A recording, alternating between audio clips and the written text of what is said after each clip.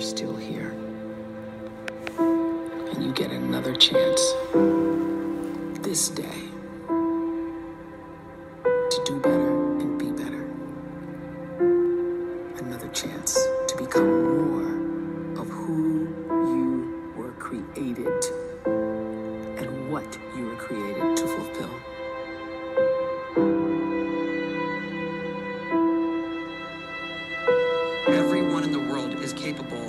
living outside the role or beyond the roles that they place themselves in, no matter what it is.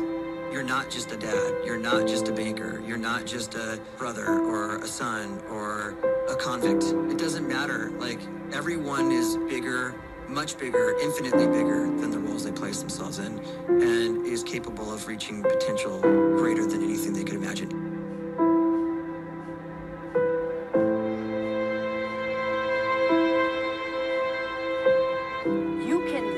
Life you desire. It's right there in front of you. But in order to achieve it, you must first see it, then believe it, and then you must graciously ask and train your brain to help you execute your vision.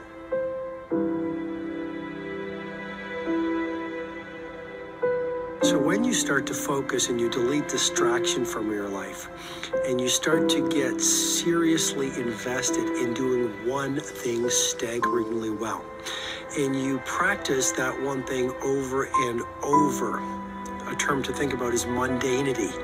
You do one simple, seemingly insignificant thing every day around your main skill, and it's very mundane, but small daily improvements over time lead to world class results. Well, here's what happens in your brain you start to isolate a single neurocircuit around that skill.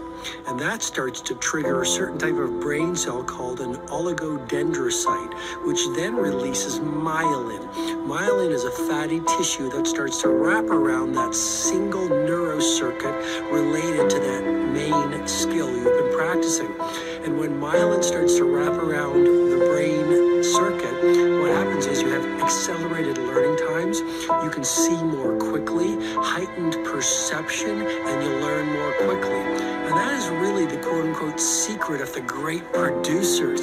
It's not a result of some natural gift, daily practice, their relentlessness and their grit, their work ethic, and their singular focus and sacrifice.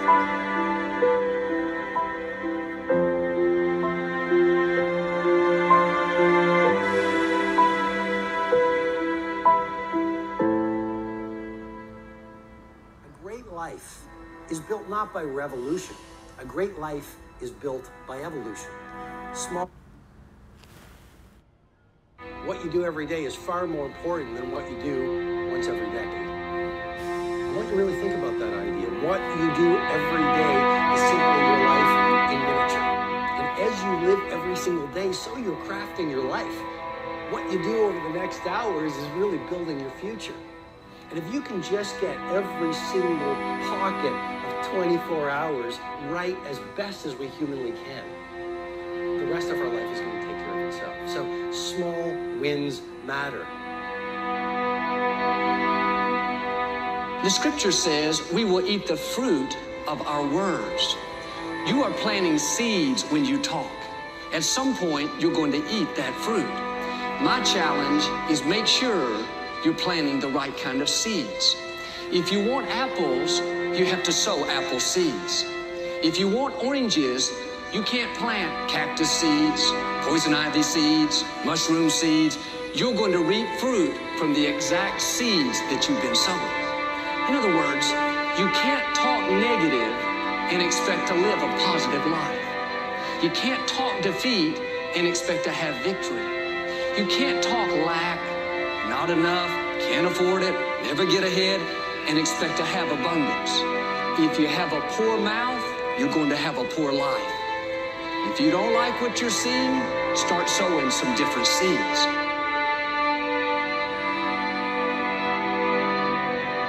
We may not realize it, but we're always feeding ourselves. What we watch, listen to, the people we're around, the thoughts we're dwelling on, that's feeding our inner man. If you go to lunch with people that talk bad about the boss, make fun of a coworker, put down a friend. They're feeding you gossip, feeding you jealousy, feeding you disrespect. Here's the key. Whatever you feed is going to grow. You may not like what they're feeding you. You're a nice person. But if you continue to hang around them, before long, you'll be gossiping. You'll be critical. You'll be disrespectful. Why? Because you kept feeding the wrong things. If you're always feeding negative thoughts, thinking, I'll never get well, I'll never meet the right person, you're feeding doubt, feeding mediocrity, feeding fear. If you know exactly what you want to be, you need to spend as much time with people that are actually that already.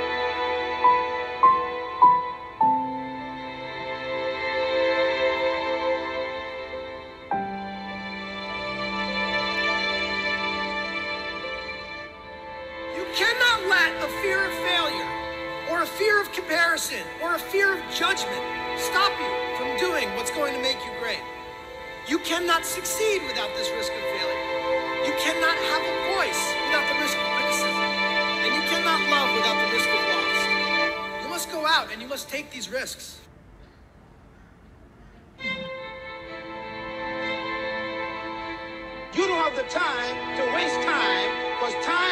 Wait till you discover your purpose. If you don't know why you was born, time is still moving. And if you discover your purpose at 90 years old, it's too late.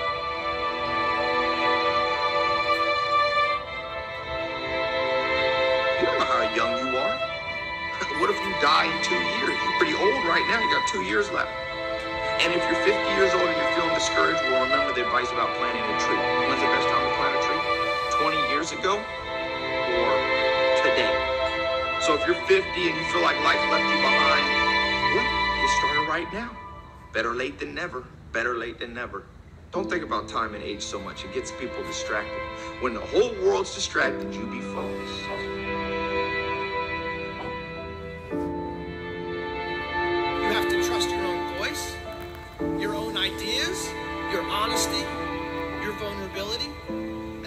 You will find your way. You do not have to be fearless. Just don't let fear stop you. Live like this as best you can, and I guarantee you will look back on a life well lived. You are capable of greatness in your profession, and more importantly, in your quality of self. Stay hungry. Stay young at heart. Take those risks. You are going to change the world around you in big ways and in small.